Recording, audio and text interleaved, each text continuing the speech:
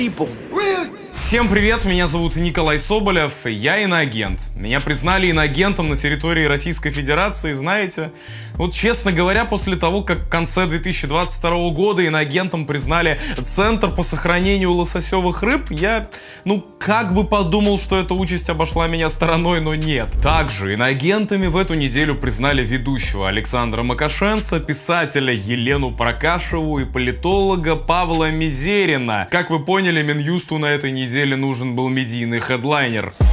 Последний шанс, последний бой. Да, вы наверняка заметили, что Министерство юстиции делает полноценное шоу из признания людей иностранными агентами. Вместо вечернего Урганта или поля чудес. Я не знаю, что с этим делать. Вращается барабан, мы узнаем, кому теперь на Руси нельзя доверять. И вот ни разу, ни разу они не обошлись без известного лица. Это такой непременный медийный атрибут. То артисты, то актеры, видеоблогеры. Посмотрите на табло. Что написано? На этой неделе у данного шоу появился еще один атрибут. Впервые Министерство юстиции публично указало короткую причину для занесения человека в список иноагентов. Итак, давайте разберемся. Согласно Министерству юстиции, я высказывался, это очень странная формулировка, против граждан Российской Федерации. Выходит, что, наверное, ну теперь очень опасно высказываться и критиковать того же Владимира Соловьева. Предатель подонок. Это Соловьеву можно оскорблять любых граждан. Вы с мерзкой, подлой, гадкой, жрущую губу лося.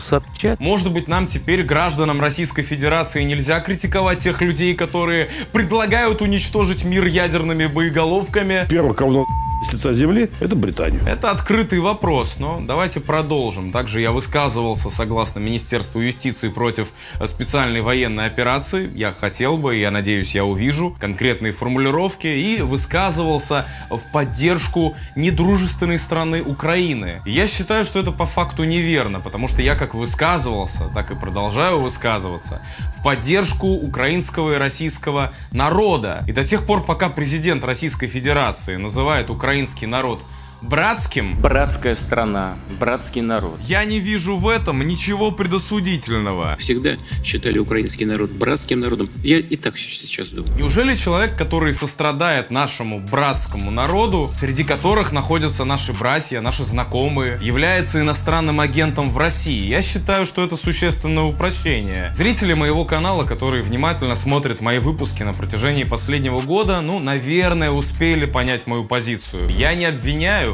и не высказываюсь, и не могу высказываться в поддержку какой-либо недружественной страны, потому что я не размышляю категории вины. Я размышляю категориями причин. Я много раз пытался объяснить каждому из подписчиков моего канала, зачем нужно искать эти комплексные причины, или как вы называете это, вину всех участников конфликта. Потому что если мы допустим такие же причины в будущем, у нас будет точно такое же следствие в виде таких же мировых конфликтов. Да, даже если Владимир Путин уйдет. Нет Вовы, нет войны, нет смерти. Нет женским выкидышам и мужским изменам, ну конечно. Это будет продолжаться до тех пор, пока один или два гегемона в лице Китая, Британии, Соединенных Штатов Америки. Один центр власти, один центр силы. Это мир одного хозяина, одного суверена. Которые пытаются навязать всем остальным свою идеологию или свою политику путем мягкой или жесткой силы, как они это делали не раз и не два. Я об этом также подробно рассказывал. Я не знаю уже даже, как объяснять, но это то, к чему мы должны прийти в будущем для того, чтобы нейтрализовать эти конфликты, потому что до тех пор в любой критической ситуации всем будет насрать на вот это международное право, которое само по себе на самом деле является фикцией. Я могу вам сказать, как человек, который следит за историей, что когда, человек, когда страна полагает, что ей грозит экзистенциальная опасность, она не обращает внимания ни на какие международные соглашения, правила и так далее. И мир будет раз за разом сваливаться в эти территориальные мировые войны, за распределение сфер влияния, как это происходит повсеместно. Все это будет частью нашей жизни, пока мы не поймем и не осмыслим причины нашего поведения, о которых я тут говорю раз за разом, но меня все равно никак не могут услышать. Даже несмотря на то, что очевидно, люди, которые разбирали эти причины, представляют предсказывали этот конфликт и 5 лет назад. С вероятностью 99,9% наша цена заступления НАТО – это большая война с Россией. И вероятность ее 99%. И 15 лет назад. Нас ждет очень большой, тяжел, тяжелейшая, на мой взгляд, война с Украиной и тяжелейший конфликт, возможно, с Казахстаном. И 20 лет назад они это предсказывали. Надо сказать заранее, что война будет на территории Украины.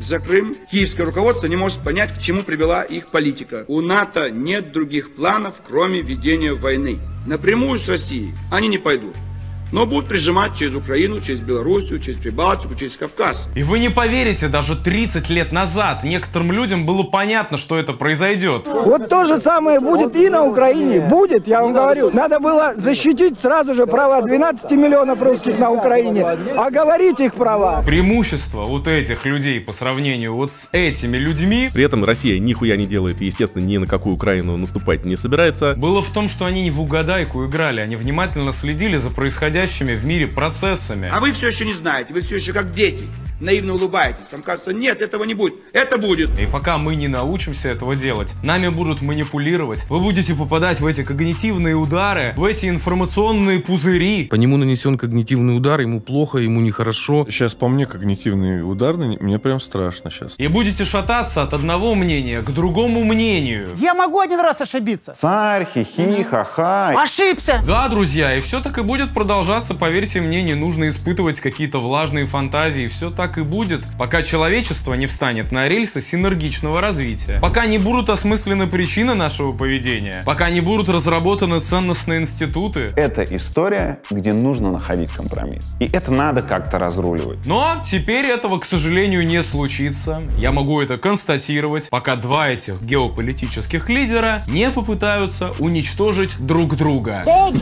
boom. Yeah, big bada boom. Bada boom. Я не знаю, сколько раз мне вообще нужно повторять повторяться для того, чтобы вы наконец-таки осмыслили, что все немножечко шире, все немножечко масштабнее, чем вы можете себе представить. И главной нашей проблемой является то, что у нас очень молодая цивилизация, которая не научилась учиться. Чтобы понять, что огонь обжигает, нам всем нужно снова сунуть руку в этот костер. Но не научились мы на горьком опыте. Ну вот поэтому, и именно поэтому, все страны, как часть единого организма, допустили очередной мировой конфликт. Если бы война была исключительно плодом безумного, условно говоря, тестостерона, она бы не продлилась на протяжении всей человеческой истории. У нее есть глубокая сакральная психологическая функция. В этом конфликте, в разном соотношении, виноваты все участники конфликта. И по-другому и быть не может. И знаете, я в какой-то степени даже рад, что после признания меня иноагентом я могу более уверенно рассуждать о причинах произошедшего. Потому что вот что важно. Возможно, многие люди поймут, что я никем не куплен и не пытаюсь усидеть ни на каких стульях. Мне это просто неинтересно. Но что же это за причины? Да вот они, если кратко, и вот в чем заключается моя позиция. Соединенные Штаты продолжали агрессивную экспансию НАТО, экспансию либеральной идеологии после развала Советского Союза, ни в коем случае не учитывая интересы других геополитических центров, ну потому что они проиграли эти геополитические центры. Зачем учитывать их интересы? Даже когда речь заходит о самых, что ни на есть, принципиальных для них территориях территориях. Выдвигает свои передовые силы к нашим государственным границам. Военная инфраструктура НАТО приближается к нашим границам. Инфраструктура военная вплотную подходит к российским границам. Нам придется что-то делать в ответ. Сказали одно, сделали другое. Кинули. Представим, что Украина страна НАТО и начинает эти военные операции. Нам что, воевать с блоком НАТО? Мне прям страшно сейчас. И знаете, вот эта война с Россией, это еще цветочки, друзья мои. Будет очень интересно в первую очередь вам посмотреть смотреть в кавычках, когда Америка по тем же причинам сцепится с Китаем. То есть последний политик у США, который предлагал адекватную внешнеполитическую стратегию глобализации, был Буш-старший. И его выкинули из офиса. А что Европа? А Евросоюз вообще не имел никакой конкретной стратегии развития, пытаясь расширить количество стран-участников этого Евросоюза вместо разумной и глубокой интеграции стран друг в друга. Безусловно, ЕС допустил множество ошибок и с точки зрения миграционной политики и с точки зрения тех необходимых шагов, которые на самом деле требовались для интеграции с Россией. Не было бы многих проблем, если бы эта интеграция состоялась. И Россия хотела в Евросоюз. И Россия четыре раза просилась в НАТО. Я не исключаю такой возможности. Я вам больше скажу, я решительно уверен, что Россия является частью Европы. И, возможно, это одна из тех причин, почему Европа могла бы более внимательно относиться ко всему, что происходит в нашей стране. Вы скажете, зачем это делать? Зачем? Это же наша проблема. Но вот до тех пор, пока кто-то так размышляет, у нас и будут продолжаться мировые войны. Пока мы не мыслим наш земной шарик как нечто общее для нас. Война продемонстрировала импотенцию всех старых институтов. А что Россия? Россия, потеряв союзников, возможность прогрессивно задействовать мягкую силу, свалилась в суверенное демократическое самодержавие. Говорят, вы хотите быть царем. Говорят, что вы новый царь. Даже в журналах об этом пишут. Не смогла эффективно справиться с коррупцией, безусловно, деградировала с точки зрения дипломатических институтов. Вы знаете мою позицию. Россия допустила множество очевидных ошибок, но вот весь этот даже краткий геополитический анализ это никакая не моя заслуга. Это не какая-то моя выдумка, друзья. Вместо того, чтобы орать друг на друга, Какая дикость, ну скажи ты хоть что-то, ну выскажись. Ты что, блин, когда ты будешь высказываться-то? вместо того, чтобы изображать из себя неравнодушие, Дал самому себе в первую очередь понять, что я человек. Вы изучите историю, изучите литературу. Я уж не говорю про нейробиологию, философию, Хантингтона, я не знаю, Явлинского, да хотя бы Зыгоря прочитайте. Ну, если вы хотите высказываться. Я это сказал. А эта позиция, она должна формироваться у всех. И только тогда мы станем гражданским обществом. Следите за мыслью. И только тогда мы не допустим те причины, потому что их осмыслим. И не допустим те следствия в виде того, что уже произошло. Я не знаю вообще, как объяснить понятней. Я тебе отвечу. Если ты не понимаешь, я тебе отвечу. Я понимаю, почему люди из Министерства юстиции могли посчитать, что я иностранный агент. Но на самом деле никакого иностранного влияния на себя я не испытываю. Мне очень обидно на самом деле, что я признан иностранным агентом в родной стране. Родина! Патриотом которой я искренне являюсь, именно поэтому я в этой стране и остаюсь. Желая людям в этой стране наилучшего выхода из этой ситуации, которого не произойдет. Я на это указывал. Если мы будем продолжать допускать те самые ошибки, я не имею ни малейшего желания критиковать нашу страну. Но Я считал, что я, как гражданин Российской Федерации, имею полное право критиковать некоторые деструктивные политические инициативы, ту бездарную информационную пропаганду. Вот прям пить этих детей. Ту горделивую, невозможно горделивую риторику телеэкспертов, которые хотят все взорвать. Мы или победим, или человечество исчезнет. Те методы цензуры, выдворение некоторых блогеров, которые становятся фанатами Украины. Те инициативные законопроекты, которые призывают вернуть смертную казнь в отношении уехавших, которые критикуют нашу страну. Да, я считаю, что это безумие. Ну, ну что это такое? Окей, давайте я вам расскажу, что такое быть и оставаться в России, будучи иностранным агентом, и что я буду делать дальше после всего этого. За свои идеалы я, конечно, готов умереть. Давайте так, что происходит с человеком, который сидит в московском кафе вместе со своим другом в пятничный вечер, э, пьет сок и вдруг неожиданно Так бум, стики-тики, ты панк.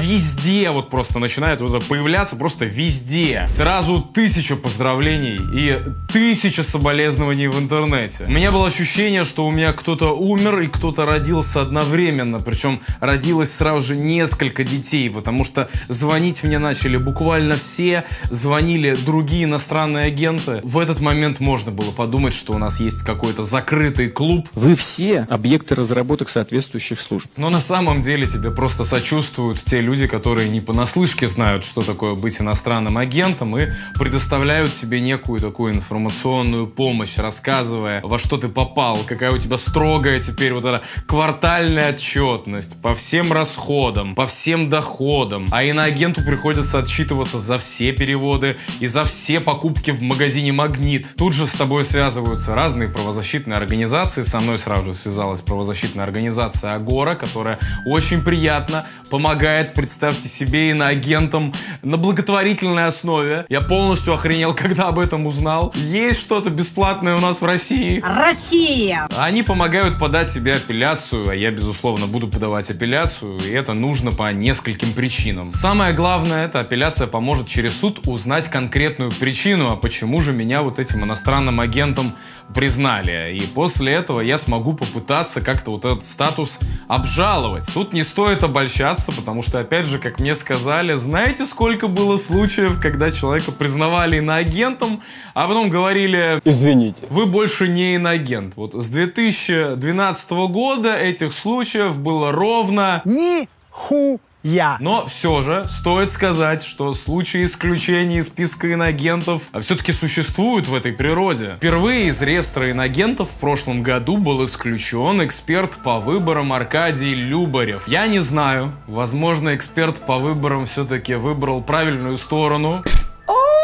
Но из списка его действительно исключили, кто бы это ни был. Данное решение было принято на основании заявлений и документов от уполномоченных органов государственной власти. Некий Аркадий Любарев смог убедить государство, что он не получает никакого иностранного финансирования, и вот, казалось бы, у тебя есть цель. У вас была какая-то тактика с самого начала, вы ее придерживались? С самого начала у меня была какая-то тактика, и я ее придерживался. Цель это заключается в том, чтобы просто ни в коем случае вообще ничего не получать на твою карту, в том числе, естественно, иностранного. Есть только одна проблема. Для начала Минюст вообще не указал, что у меня было хоть какое-то иностранное финансирование. И еще проблема в том, что вроде как никакого иностранного финансирования я, естественно, ни от кого не получал за последний год. Возможно, если не считать тех самых январских ранних каких-то выплат за просмотр от Ютуба, которые выплачивала компания Юла, к которой были подключены вообще почти все блогеры российского интернета. Да, мы получали доходы до того, как монетизацию отключили.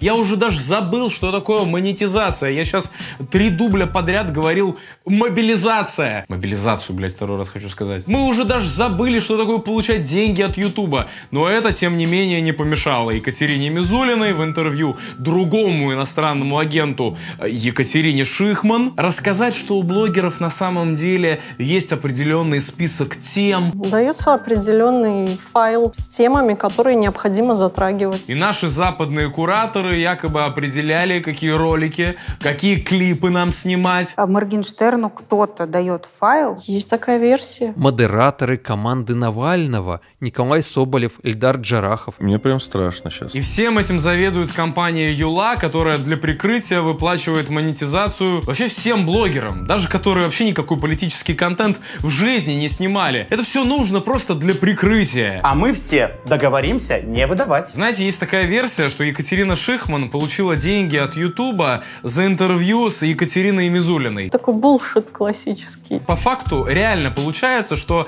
Америка и ЦРУ проспонсировала саму Екатерину Мизулину. Есть такая версия. Впрочем, доходы от партнерки это на самом деле цветочки, потому что адвокаты из-за горы уверили меня, что инагентом тебя при желании могут признать даже за то, что ты когда-то получил какой-то возврат денег за билеты или за то, что ты когда-то дал интервью какой-то компании, которая работала с компанией, которая 5 долларов из-за границы на свой счет получила. Был бы человека статья расходов найдется. Работаем. Еще очень интересный пункт, э, который мне рассказали, кого вообще в принципе сейчас систематически признают иноагентами в России. Как оказалось, есть э, три самые популярные категории людей. Мне прям страшно сейчас. Во-первых, это, конечно, те, кто высказываются про политику. Причем, если в начале спецоперации признавали иноагентами людей, которые высказываются категорически против, то теперь настало другое время. Иноагентами признают уже людей, которые не высказываются радикально за. Брат, нейтрально больше не получится. Теперь все, кто не с нами, те против нас. Во-вторых, это люди, как ни странно, которые как-то связаны с борьбой за права ЛГБТ. Да, если ты гомосексуал и, например, решишь отстаивать свои же права в России, э, то тебя могут признать иностранным агентом, посчитав, наверное, что ну ты гомосексуал просто из-за какого-то иностранного влияния, просто, ну, наверное, какие-то фильмы посмотрел.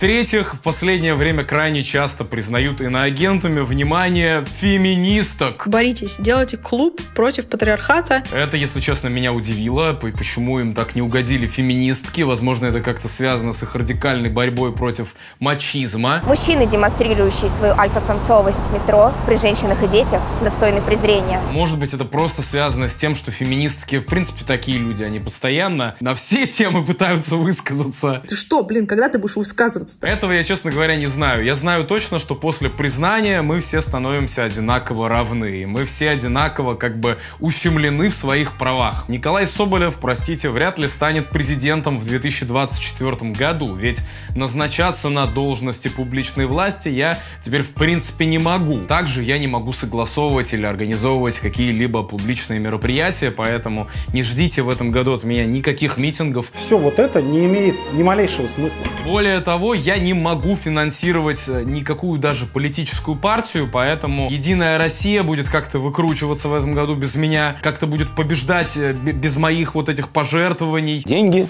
есть. А государство в ответ никаким образом не может меня поддерживать, поэтому мой канал продолжит выживать на рекламу. И да, я хотел бы всех расстроить, никакого контента для несовершеннолетних от меня не ждите, никаких челленджей не будет, к сожалению. Мы не будем строить с моим оператором какой-нибудь замок из резиновых фигур. Вот за всеми вот этими вот контентами, вот это вот к Владу А4, пожалуйста. Так, я передаю привет знаете кому? Маме Николая Соболева. Желаем вам крепчайшего здоровья. Ну а кроме шуток, потому что ничего смешного на самом деле в том, что меня признали иноагентом или кого-то признали иноагентом, нет. Все эти правила, что самое ужасное, могут в любой момент а, сильно ужесточиться. Уже сейчас, согласно новому закону, иностранный агент может докатиться до уголовной ответственности, если просто не будет маркировать правильно свой контент. От иноагентов, к сожалению, уже шарахаются некоторые опасливые люди, которые не знают, что, в принципе, взаимодействовать на какой-то приличной дистанции с нами все-таки можно. Мне, честно говоря, просто интересно, а что же будет после того, как начнется вот эта священная война. Мы идем! Какая будет жизнь иноагента после этого? Я надеюсь, мне не придется исследовать. Ваше место у параши. Я не знаю, друзья, что будет дальше со мной, что будет дальше с моей карьерой, как это все повернется. Понятия не имею. Одно я, наверное, знаю точно. Возможно, после а, вот этого падения с одного из стульев уменьшится количество людей, которые искренне считали, что моя цель это усидеть на этих стульях. Моя цель это заработать или преследовать какие-либо корыстные интересы. Хоть мне, в принципе, в последнее время было сравнительно плевать на таких забавных индивидов. О, посмотрите, Николай Соболев не смог съесть рыбку и усидеть на своем стульчике. Знаете, что я считаю? Я считаю, что люди, которые размышляют такими категориями в своей жизни, преследуют только корыстные интересы. Им достаточно сложно понять мотивацию человека, который остается в России и высказывает взвешенную позицию. И, конечно, я не сидел ни на каких стульях.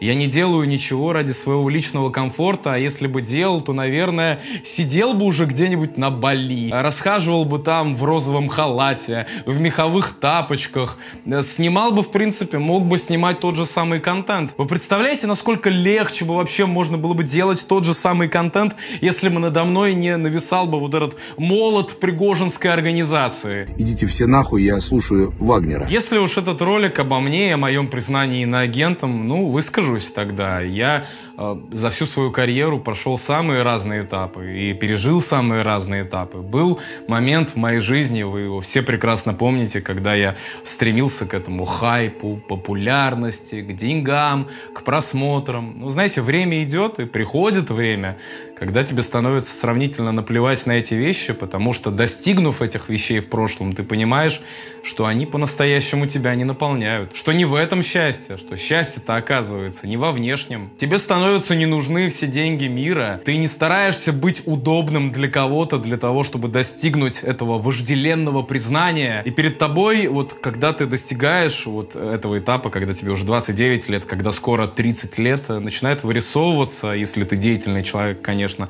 вот это слово «миссия». Если уж ты снимаешь такой контент, какой снимаю я, возможно, истина в какой-то момент становится для тебя дороже, чем Гомер, чем Сократ, чем Владимир Путин и дороже, чем ты сам. И я, занимаясь такой деятельностью, решил, что самым главным в достижении вот этой истинной цели является попытка отобразить верные пропорции нашего мира. Иронично, что об этом еще в 1999 году сказал пропагандист Киселев. Задача журналиста, на мой взгляд, это показ верных пропорций мира. Это показ всей картины мира. Но эта формулировка на самом деле очень точная, и именно поэтому мне искренне неприятны те люди, которые, воюя на медийном фронте, допускают в своей деятельности искажения, упрощения и ту самую мыслительную ситуацию, где с одной стороны у них вот эти высшие эльфы, которые все делают правильно, а с другой стороны наша страна, Мордор, непроглядная чаща леса,